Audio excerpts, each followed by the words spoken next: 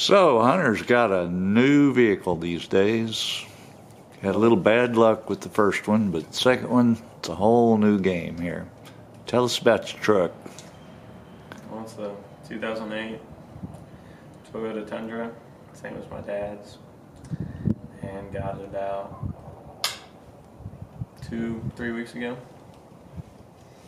And uh, been driving it every day pretty much. And So you got a new bed liner in it. You've been doing some some. Uh, yeah, I re- replaced the grill on it and uh, headlights. And, uh, just been doing some stuff to make it look a little better, run a little bit better. There's some new headlights, huh? Did you get them on? Yeah, you want to come look at them? Look like you got a new windshield too. Well, I need one of those.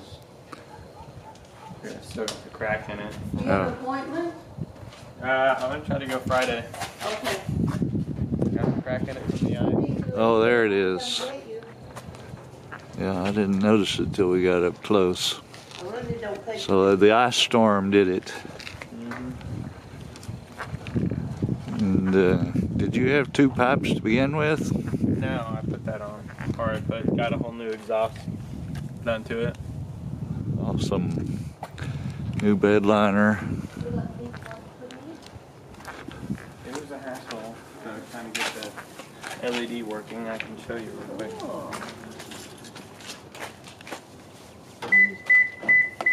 Look at that new grill. Oh, that is so cool, Hunter. He didn't have Look at that. I Hmm. know. He didn't have that yesterday when he came.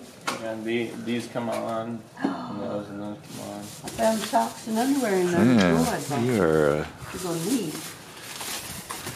you're Man, Um,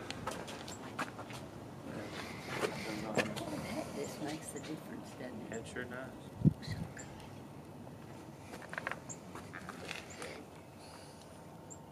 Let me start it up. Oh, yeah, Grandpa hadn't got to hear it. Yeah, you can go back there and here are those twin pipes here.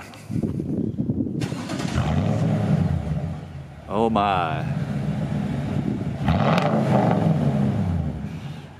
Yes, sir, bub. Thing's got some muscle. Another ride with him. That won't be long. Thanks, Grandpa. My big boy. Yeah, yeah. Heck of a kid. Yeah, one of a kind. I guess uh, kid is you. not the right word anymore, is it? No, he's a young man. Yes, sirree.